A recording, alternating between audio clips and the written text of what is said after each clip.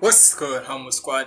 It's your boy Humble Ziggy. We back here with another reaction. So, we here with another Louaista video, and this one is titled "Where Are Rap Snitches Now?" Basically, where we know that when it comes to rappers and such, you always hear the stigma and such, no snitching and all that. But to me, it's basically like this. At the end of the day, all I feel like is with with nowadays the street code shit, let's face it, that's null and void right now. To honest to me and many others who think like me and such.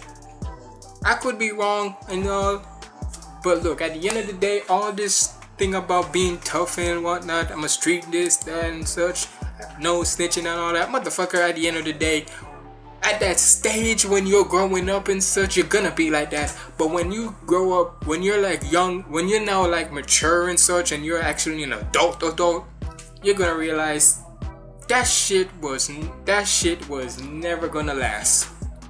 That's how I feel. So, hey, let's see how Louaista, let's see how much of the rap snitchers, rap snitches are doing now and such according to Louaista. So we better check this out. Make sure you like, comment, and subscribe. Follow me on all my socials up there. And without further ado, let's dive on in. There's not many things worse that you can do for a rapper's career than to be caught telling. In a genre that's so intertwined with street code, fans are quick to write off anyone who is discovered to be an informant and not living up to their lyrics about being a real OG who stands 10 toes down. Even if some of those listeners have only seen the hood from a telescope in the suburbs, they still aren't willing to listen to a rap. Yeah, which but is crazy. Like, that's another crazy thing, too. Like, if, nigga. Oh, hold on. This because, like, basically, why are you, what, who says you need to who are you to judge somebody and such? Because at the end of the day for all we know you could be a rat too. So yeah the hood from a telescope in the suburbs, they still aren't willing to listen to a rat. But what happens after these allegations surface? And is there any way back from it? My name is Louaista, and today we're gonna discuss what happens to rappers after they snitch. And if we're talking about rappers who turned into rats, we might as well start with yep, one of the most one. notorious examples, Tekashi yeah. 69. After a few years of trying to make it, a young Daniel Hernandez had an idea for how he wanted his new video for his track Gummo to look. Now that he was rhyming with a harder edge to his lyrics, he needed some credentials to back it up. And as he was never a gang member, he found it through hiring the infamous 9 Trey Gangsta to appear in his video. Once this formula worked, 6 9 kept running with the gang and became a member. But, but like, rather and look, let's face it, even though 9 times out of 10 we all knew that this nigga really wasn't living about that life, the music himself, the music itself be hey, we can totally be honest. All of us was bumped back in 2017, 2018. Almost all of us was listening to him at a time. Even if he wasn't saying shit, even if we even if it was trash or whatnot, which it is, let's be honest, at that time, everybody was bumping it and such. Bumping Gummo, freaking Gotti Gotti and all that. So yeah, we can. It's basically like this. For all who say I could never listen to a rat and all that. Look, at the at the at one point we all was listening to six nine. So I want to hear it edge to his lyrics, he needed some credentials to back it up. And as he was never a gang member, he found it through hiring the infamous 9 Trey Gangsta Bloods to appear in his video. Once this formula worked, 6 9 kept running with the gang and became a member. But rather than having to do dirt in the streets, Tekashi, who was now racking up a gang of billboard hits, had one job for the gang. He simply had to keep making hits and giving financial support to the gang, as well as equipping them with guns so that he can get credibility and protection is... in return. Styled as the self-appointed king of New York, Tekashi provoked everyone to try and mm. beef with him. And when he had the protection of the gang, he could do crazy things like the time he showed up to O Block in the middle of the night since he knew that his brother- This is when right then and there six nine became such a. It's not even.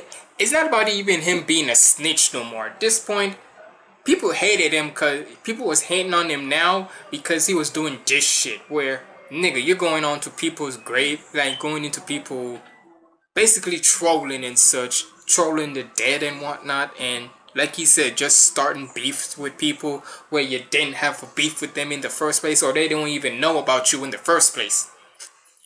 New York, Tekashi provoked everyone to try and beef with him. And when he had the protection of the gang, he could do crazy things like the time he showed up to O Block in the middle of the night, since he knew that his brothers in the 9 Trey would have his back. O Block right here? I should call this shit no block. It's 10 o'clock. Where the fuck y'all niggas at? All the while, he was becoming a huge star, collaborating with the likes of Nicki Minaj, Tory Lanez, and even Kanye West. But in November of 2018, Tekashi's world yep. came crashing down after he was arrested alongside the 9 Trey gangster Bloods on RICO charges. It was here where Tekashi was now facing 32 years in jail. Now, he had to decide. Does he want to really stick with the tough image and do his time? Or should he just work it out with the cops to get a lighter sentence? Well, he found out what he was going to do the first night he was locked up. First night I got locked up, I watched Lone Survivor. And I was like, definitely, I'm definitely snitching, right? and then, and then, no, seriously, I was So like, from the jump, from the jump. After all of that posturing, 6 9 was going to be out in a matter of months, but no one could understand how that would work. But when he first reemerged, it seemed like he was about to pick right back up where he left off, as he broke yeah. the Instagram live viewing record in his first public appearance. However, when it came time for Tekashi to drop music, his sales literally halved. And rather than acknowledge it, he lashed out on the charts and claimed that he was being blackballed by the industry, while other rappers were doing dirty work behind the scenes, such as buying the number true. one singles. Although it was really clear that the fanbase wasn't really buying it. 6 9 numbers don't lie. Also 6 9 the Billboard numbers are wrong. As yeah, most of hip hop like, nigga talking about buying numbers and such. Like my nigga, really? In space like this, you think people are actually watching you because you're that fire as a rapper and as an artist. No, nigga. The only reason why people would ever was listening to you or reacting to you wise was because let's be honest, you bring in the numbers. Don't I ain't I ain't lying. But we were mostly what for me. I wasn't reacting to him at all because at the time it was whatever. Cause I didn't even know him. Like, come on now my channel one my channel wasn't that big well still it is not that big to me and two ain't nobody going nobody was gonna take him that serious no more because that whole gangster image he had before especially when he snitched afterwards long and gone so anything numbers don't lie. So anytime also when he's the talking the tough, numbers are wrong. As most of hip hop rejected him, he's been shot bail from the likes of Akon, who basically said that this was more commonplace than people made it out to be. In jail, 80% of the motherfuckers that's locked up right now are all cooperating True. with the police. There's more snitches in jail than there are so-called real niggas. I mean, hey, be honest. Wait a lot. Be honest. If you need to tell me right of this moment that ain't there's no snitches in jail, y'all is lying as a motherfucker. Everybody in that motherfucker done cooperated. If they can get Juice. time less the amount they was given, they telling my nigga. Imagine that. You say if you're given 10 years, right? To and you're going to jail for 10 years. Nigga, if you corroborate the police, you could get 5.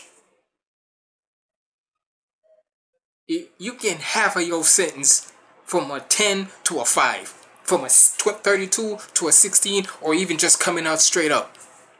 So who so you need to tell me. You wouldn't want it man come on now.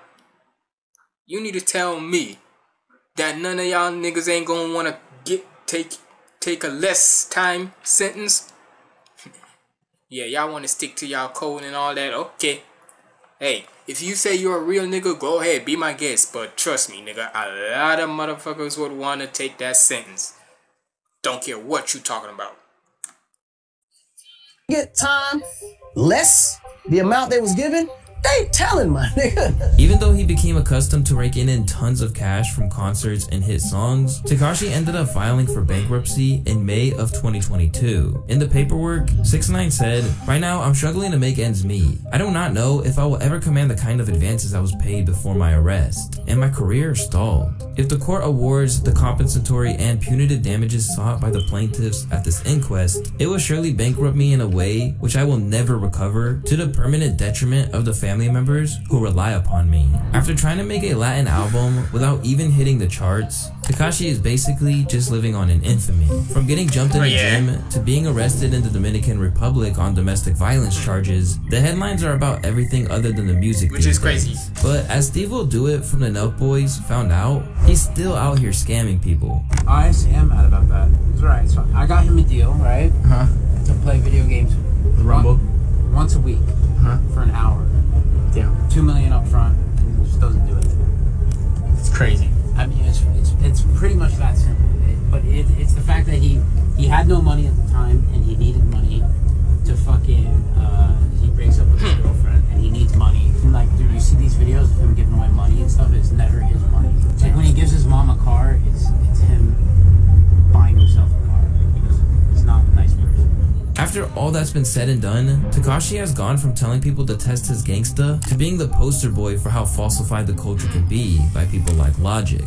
It's very evident, right? I'm not talking shit. I'm just saying that he puts on this this, this, character, especially if you judge based off what he said in court. I ain't st- trying to fucking start beef with six nine. I'm just using an example that there are some rappers out there that are more a persona, a persona and a personification, and because of that, when people shit on their music or shit on them, it doesn't matter because they're not really portraying who they are on the record. Although his career is in a horrible state as of right now, at least 6 9 had a lengthy time I at guess. the top.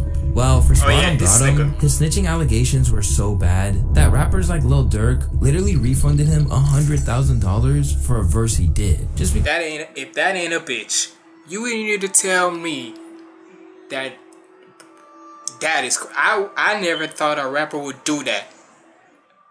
So he snitched so bad that you got he refunded him a hundred k for a verse he did.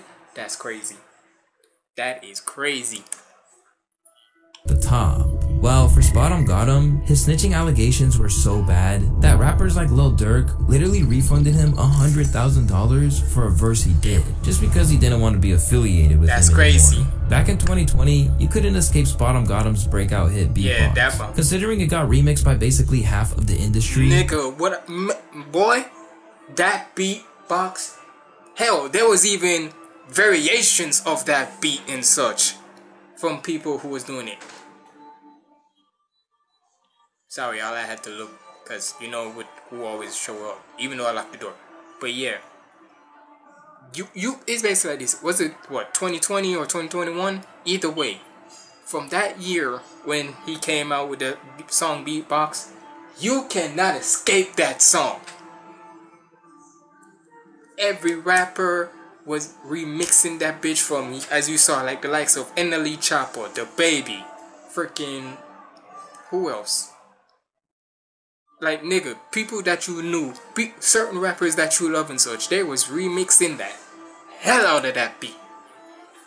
Bottom Gotham's breakout hit Beatbox. Like Considering baby. it got remixed by basically half of the industry, it made it seem like this Florida Yeah, rapper was had a on it. promising and successful career ahead of him. However, when news surfaced that he didn't even stutter in snitching on one of his own friends started emerging by media outlets, it really brought his whole thing down. Basically, the story is this. In June of 2020, SpotemGottem was caught with guns and marijuana at a Florida residence alongside YNR Mookie. Once the cops showed up, Spottum hastily gave his homie up, with claims that he was asleep when the cops initially arrived, and that Mookie was freaking out because he had a weapon on him. The facts are, Spottum told the police he saw Damn. Mookie with a gun and hinted that some pills weren't his, leading to Mookie's arrest while SpotemGottem got to leave. Ultimately, Mookie beat the case because the cops didn't file the right paperwork. While for SpotemGottem, it was time for damage control. They're saying you're, you snitched on YNR Mookie, and there's a lot of noise out there about it. Papers been leaked and all that, allegations flying around. What's your side of the story? Just let's set the record straight.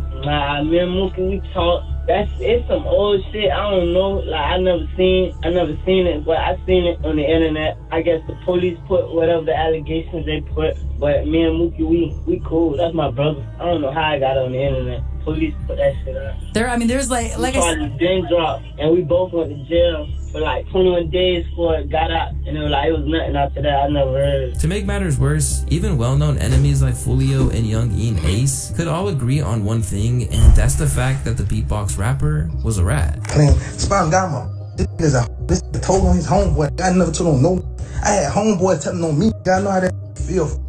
I never tell on no. On with you, boy. You tried me.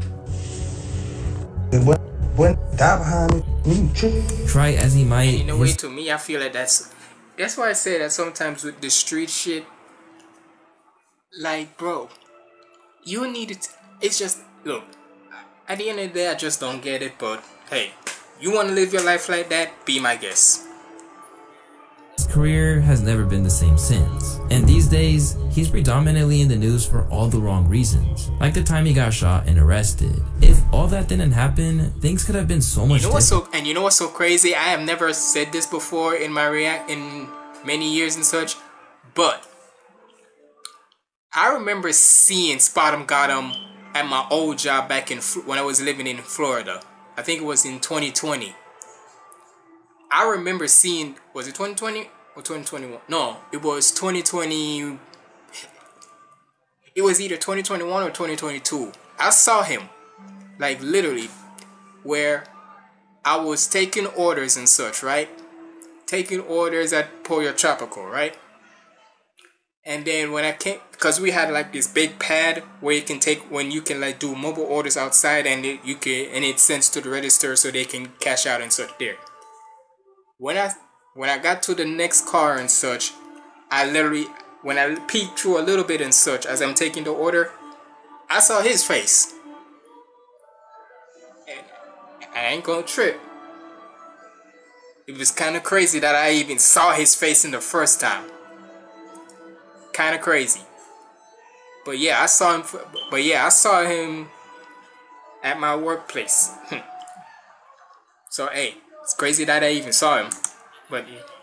Like the time he got shot and arrested. If all that didn't happen, things could have been so much different for him. At one point, Lil Durk, whose own father is now behind bars after being snitched on, gave back 100k for a feature that he had already recorded and refused to let the track come out. For a lot of people, Durk's ruling further solidified what people thought about him. But although they think that the Chicago rapper was right on this occasion, his decision not to work with SpotemGottem, but record a verse for real Boston Richey has been seen as a little hypocritical. For those who don't know, Boston Richey is a Tallahassee rapper who is signed to Futures' as Freebandz label, and he's had plenty of buzz in recent years. Despite only beginning to rap in 2021, Boston Richey's early tracks like Keep Dissing made an immediate splash. But before he could really build a major brand, his career was sent into a tailspin when news emerged that he cooperated with a 2013 police investigation, explaining his involvement with a stolen car alongside two conspirators. The reactions were as expected, so Richey tried to tell his side of the story. So we go to the TVD station, you know,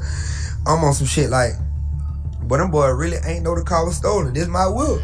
Yeah. So like the police like took that from as in saying like oh, me saying it was in the whip to me, they knew the car was acknowledged as being stolen. You know what I'm saying? Mm-hmm. But that was never the case. Like on top of denying that it caused a strain on he and Future's relationship, he also suggested that the publicity was actually helpful to his career. Shit, my number's up. I ain't gonna say all publicity, good publicity, but it's just like shit. It's just sometimes this is what it come with. You feel me? Like yeah, nigga can't be no great if a nigga ain't never if a nigga can't recall you going through a certain situation. Although he is right in the sense that things haven't really stalled and he's still getting a lot of attention, it still hasn't completely gone away, and this isn't even the only time he's been accused of snitching. So videos like this ultimately haven't helped. But then again, this what I'm trying to tell you, like, I don't think he he cause he was like, but I know we know for a fact the reason we know they hang because Eddie Eddie gave him his mom. Oh yeah, this nigga rat. This nigga. Um, his uh, the nigga Jarrell gave him. Once this video did the rounds, he proclaimed that he threw the cops off the scent with false information, but not everyone is so eager to accept this story, and fans did him dirty in the comments. He's doing a promo run for his next album, The Damn. Boston Plea Party. I'm not messing not with anyone. Boston Plea Party. playing off a Boston Tea Party. That's crazy. I'm not messing with anyone who talks to the police for a whole hour. I don't care what they say. I want a lawyer. I want a lawyer takes way less than an hour. I mean, hey who talks to police for a whole hour. While he's still doing pretty well, it's hard to imagine he wouldn't be doing a little better if these allegations weren't hanging over his head. In this sense, Richey received a favorable outcome. However, it's important to note that not everyone experiences such leniency. I mean, just look at what happened to Pop Hunna, a Philly rapper who was among the first rappers to really pop off on TikTok. Oh yeah. Pop if I'm not mistaken, wasn't it the which one? Which song was it? I can't remember. They're probably gonna play, bro. Hunna was off to a flying start with yeah, Corvette. Corvette. That one. Corvette, Corvette. Hop, bro, I can't tell you how many times I've heard that damn thing on TikTok. That Corvette, Corvette. Hop with it, that bro. I ain't gonna lie. Yes, I get it. It was catchy, but it was so freaking annoying to me. Shit. Like, and plus, I didn't even think of him like a like a gangster rapper or whatever and such, but it was it was just that damn song was so sometimes I feel with TikTok they always ruins a good song for me. Ruin a good song for anybody and such because then you see people want to do challenges to that or dance challenges to that shit. It just annoys to me.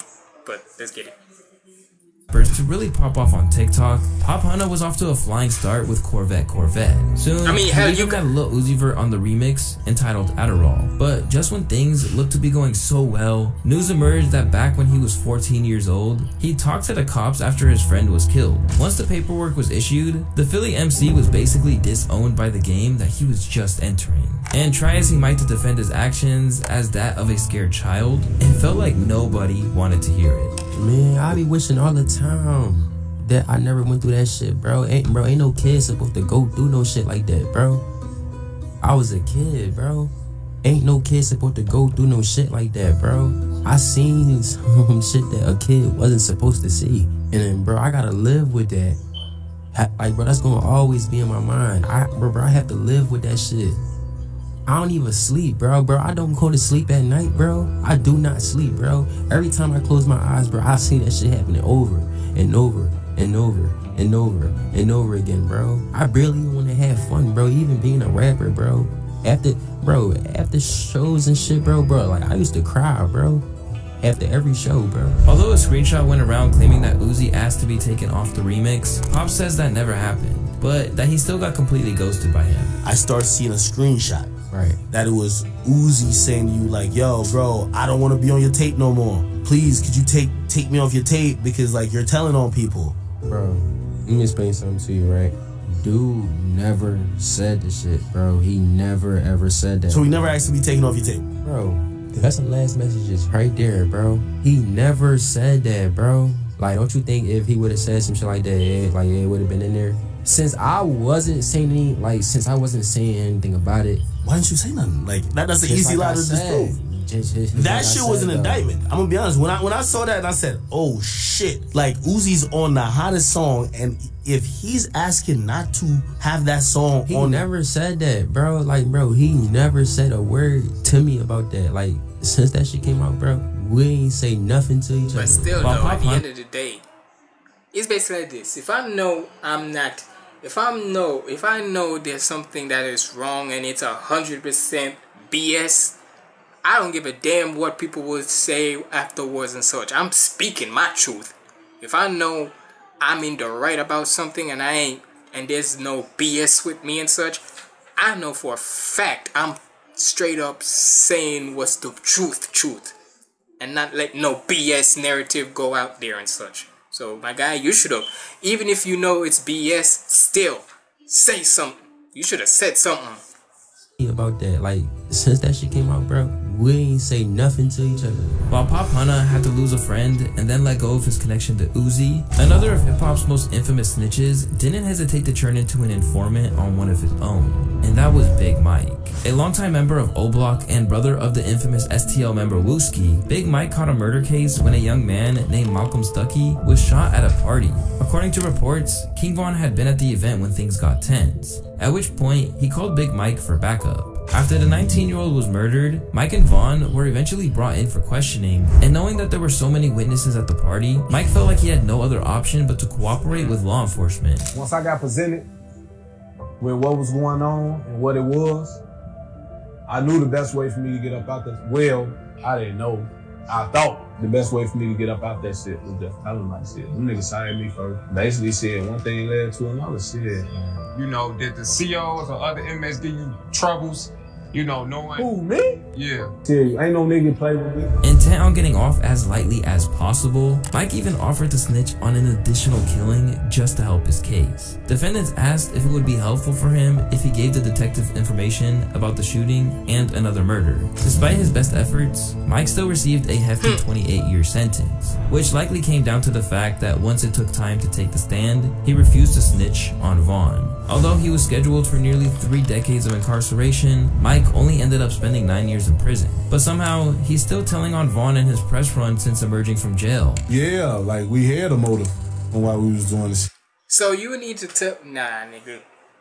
Look, I'ma save my stuff for the end I'm about to say, but this is why I be saying that sometimes y'all call, y'all so-called real niggas out there and such, y'all be the most fakest of all than some of the infants and such because you know what it is look that's why you'll never that's why to me whether you call me a real nigga whether you call me this and that and the third hey i'm just me being me. I'm i never call my i never say i'm a tough nigga. I never say i'm about that life or anything like that. No you will never hear nothing like that from me. From people who know me i just be doing i be just chilling. I be with myself most of the times. And hey, if you want to, if I'm friends with you, I'm friends with you. If I'm not, then it's all it is what it is. But that's why you. So hey, it is what it is. In his press run since emerging from jail. Yeah, like we had a motive on why we was doing the shit we was doing. I would say he was no serial killer, but he will kill you. Where no one would deny that what Mike did was snitching, one artist who has benefited from the gray area over what is telling and Gun, what isn't. Yeah, the most recent Gunna. one. Just a couple of years ago, Gunna was unquestionably one of the most beloved figures in hip hop. Known for working with the biggest names in the A, Gunna's career reached its peak with 2022's DS4 going number one. However, he didn't have much time for a victory lap, as soon he was jammed up in the RICO case against Young Thug and YSL, as the Fulton County DA attempted to portray them as a violent street gang. Suddenly locked up, no one thought Gunna would turn on his mentor in Thugga, although he did have previous offenses, such as the time he appeared on CNN's Crime Stoppers as a teenager. Yeah, I remember seeing this, and he didn't he like try to disclaim saying, "Nigga, that ain't me" and all that. Nigga, that looks exactly like you. Who you know have that overbite? Who you know have that overbite and such? Come on now, nigga. And look, I ain't trying to hit this on people with overbites, but come on now. He he said about how that's not him. Nigga, really? Really? come on now. We ain't stupid. But it was clear that he had no intention of spending years behind bars. Immediately, his lawyers insisted he wasn't about that life, saying, There is no allegation that he committed any acts of violence. There is no allegation that he ever sold any drugs. There is no allegation that he ever committed any act relating to obstruction of justice or interfering with the administration of justice. Left with the option of staying in jail without bond or tasting freedom again, he chose to go for an Alford plea. For those who aren't familiar with this term, it's basically a guilty plea in which a defendant maintains their innocence, but they admit that the prosecution's evidence would likely result in a guilty verdict if brought to trial. With that, Gunna was back outside and immediately he tried to get ahead of those inevitable snitching allegations, such as the time he said this to WSB TV in a statement after the news broke. While I have agreed to always be truthful, I want to make it perfectly clear that I have not made any statements, have not been interviewed, have not cooperated, have not agreed to testify or be a witness for or against any party in the case, and have absolutely no intention of being involved in the trial process in any way. My focus of YSL was entertainment. Rap artists who wrote and performed music that exaggerated and glorified urban life in the black community. Try as he might, not everyone was buying it, and before long, longtime hmm, collaborators like Lil Baby and Lil Durk had unfollowed him. Meanwhile, leadership of the label like YSL Mondo couldn't believe what he had done. Boy, you didn't supposed to do that, my brother. Even though if you, I didn't be talking about it. Everybody who got common sense, everybody who's been in the streets, know you did not. But you don't do no. Based upon how angered people were by the idea that he betrayed Thugger, it really looked like there might be no way back for him. In fact, many OGs thought it was a wrap. The film in court came out, and you know, of course, his lawyer wrote that. He didn't write that. His lawyer probably wrote that. But now in these days, when you got the camera, it just look like you know they're gonna say you pushing please. you pushing please. Because I mean, in this business, if you turn into a rat, it's kind of like it's over. Me, I would have rather sat a little longer, because I was only in there for a year. I would have sat a little longer than coming out to, to what the internet do. Yeah, because Me, Gunna, that's just my opinion. But as bad as things looked for Gunna, he would eventually return to what he does best, and went on to drop his album A Gift and a Curse. Suddenly forced to stand on his own two feet without any guest verses, the record landed at number 3 and delivers some major hits like Fuck You Mean and Back to the Moon. Named Complex's number one album of the entire year, Gunna is now heading out on his Bittersweet tour. As a result, he's become one of the only rappers ever to be accused of snitching and turn it into a victory lap. Through what happened to the YSL artist, we maybe see a change in the air for hip hop, where consumers aren't caring quite as much about these allegations as they once were. But even then, Gunna's fate is an incredibly rare case rather than a norm, and as long as the streets play a role in hip hop, that'll probably always be how it I goes. guess. Hey man, shout out to Louaista on this video and such. Make sure I give a little like right there and such. But look, this is why this is my thoughts on this whole thing, right? Basically like this, and this could be either way. Now, me personally, it's crazy, right? That you need to tell me because of a certain situation and such, right? But I, but like I said at the start of this, it's a stage where you're at where you're young and you're in the streets and such, and then you live by that code not to snitch and all that and da da da da, right? But if you live to a point where you're really successful in your life, right? You can take, you can go away from that street life shit, sign away, go away from that shit, and focus on the thing, focus on the thing that's making you get some good money and such, some clean, good clean money. But surprisingly, especially when it comes to the hip hop and such, most people are not gonna think that way and such and think like just because if you rat on if you rat on somebody that's it and all. But hey, I'm just saying sometimes if you're not snitch, all I'm gonna say is this: you need. This is just me. Now, am I saying I'm gonna snitch on nobody, snitch on somebody? No. Cause one, it's not about if you're snitching and such. Cause people get the people sometimes forget the definition of the word snitching and cooperating.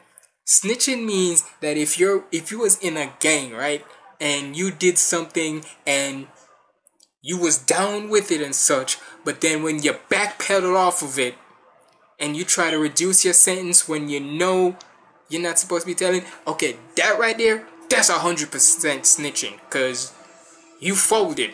Even though I'm not condoning the action, right? But what I am saying is, if you know you did it, if you ain't gonna take a responsibility for your actions, and you just gonna straight up snitch and just straight up sell out your partner like that and such, then hey, I can see it like that. Then that's a hundred percent snitch.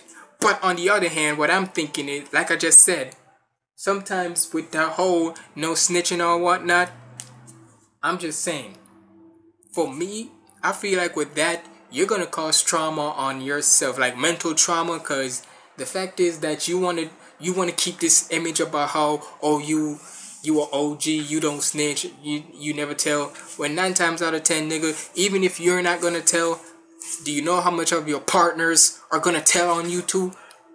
So trust me, you keeping that and plus with you keeping that same tough image about this and that and the third, honestly to me, it's not gonna last. Really, it's not. So that's why you see now where most we're in an era where most people are not gonna give a damn about if you was in the street life or not. That's how I look at it. Cause right now we caring about you having bars in your music, we have making sure you have fun with your music and all that.